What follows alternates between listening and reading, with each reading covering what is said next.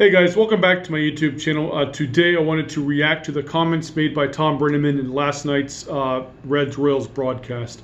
For those who don't know, in game one, Thom Brennaman uh, had uttered a, uh, homophobic, homophobic slur.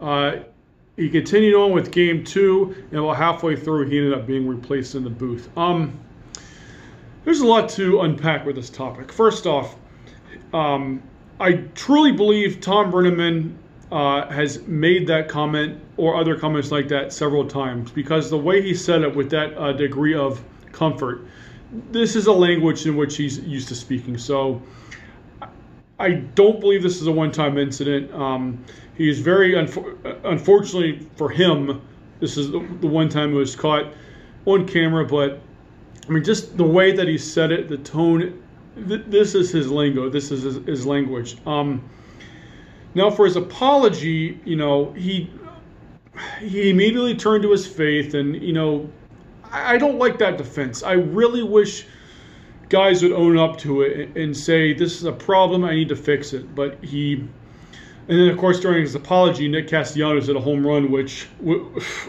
talk about crazy. You know, he just very ca- casually caused the home run, then gets back to the apology. And he's right in one thing. Uh, he probably will not be putting on this headset ever again. Um, I definitely think he should be fired. Uh, as it stands right now, he's been suspended indefinitely. Uh, I would be very disappointed and surprised if he ever broadcasts games for, for the Reds ever again.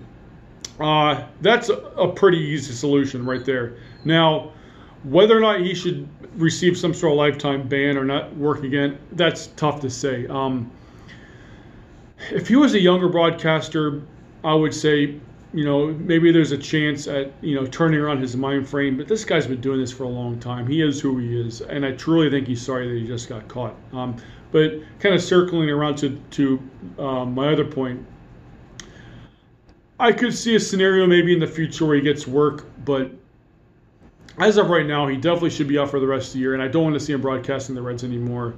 Um, to be honest, I wasn't really a huge fan of his broadcasting work as, as it is, and this is it. This is the end of the Thom Brennaman era in Cincinnati, and to be honest, you know, following in his father's footsteps, his dad's got to be very disappointed. And he basically, I think Thom Brennaman was about 57, 58 years old he had this job for as long as he wanted it, and he blew it. And, and I think he knows that, and I'm, I'm sure he feels bad.